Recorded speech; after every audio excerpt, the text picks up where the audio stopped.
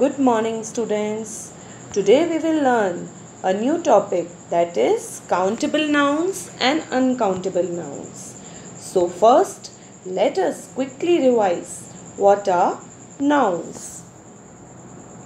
Nouns are names of person, place, animal, and thing.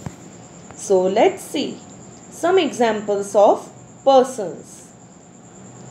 Sonia, Rohan, Tina, Arif.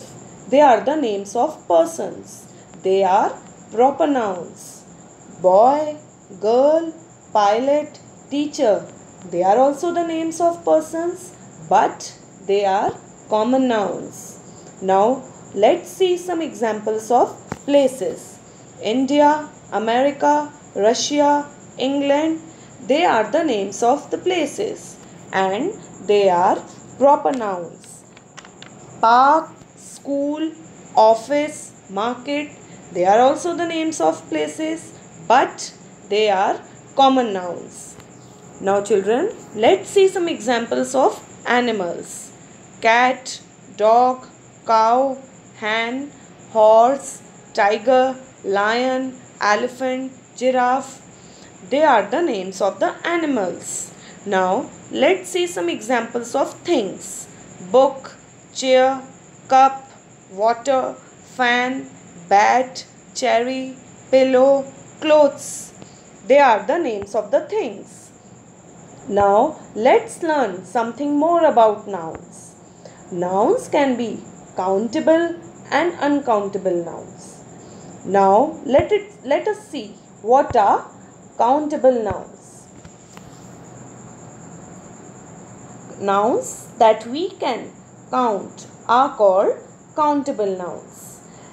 They can be in singular or plural form.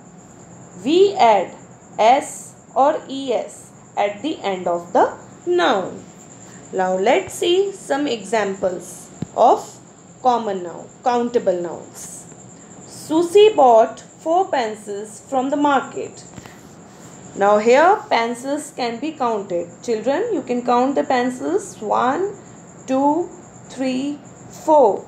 So you can count the pencils. So pencils are countable nouns. Now let's see the second example. Mother gave Ron two stickers. Now here the noun stickers can be counted. So stickers are countable nouns. Now let's see the third example. At the beach I saw three crabs fighting. Now children here you can count the number of crabs. One, two, three. So here the noun crab is countable. So crabs are countable nouns. Now let's see the last example. Rita bought five books from the library. So we can count the books. So books are countable nouns. Now children, let's learn about uncountable nouns. What are uncountable nouns? Nouns that we cannot count are called uncountable nouns. We write them in singular form and do not add s or es at the end of the noun. Now let's look at some examples of uncountable noun. Now the first example is Ted loves to have hot tea in the morning. Now here the uh, noun tea is uncountable noun. If we have to express tea in numbers, we will say a cup of tea or we can say some tea, little tea, a lot of tea. Now let's see the second example. Ron and Sam played in the water at the beach. Now here the noun water cannot be counted. So therefore water is an uncountable noun. If we have to express water in numbers, we will say a glass of water or we can say a lot of water, little water, some water. Now let's come to the last example. Nita had a haircut today. Now here is an uncountable noun. If we have to express here in numbers, we will say a strand of hair or we can say few strands of hair. Have you followed the lesson, children?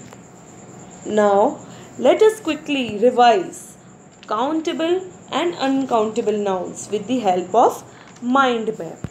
Nouns can be classified as countable nouns and uncountable nouns. First, we will revise about countable nouns.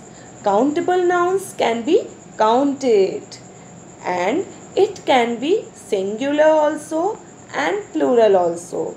That means they can be one also and many. We use a or an with singular countable nouns. For example, a chair, an apple. Here they are singular and with them you can use a or an. Just for example, boy, girl, pen, dog, tiffin, ducks. They all are countable nouns. Now come to second topic that is uncountable noun. Uncountable nouns cannot be counted. They are just singular in form. They are not plural and we do not add, we do not use a or an with uncountable noun. Words like some, little, much, many are used to specify their quantity. For example, water, it is an uncountable noun. So, if you want water, you will say, I want a glass of water or you can say I have a water bottle or I have a bottle of water. Sugar is also an uncountable noun. Rice, milk, money, butter, they all are uncountable nouns. And now I am sure that you all know what are countable and uncountable nouns. Well, bye students. Thank you for being such lo- lovely ones here. I will see you again in my next video. Bye for now. Have a nice day.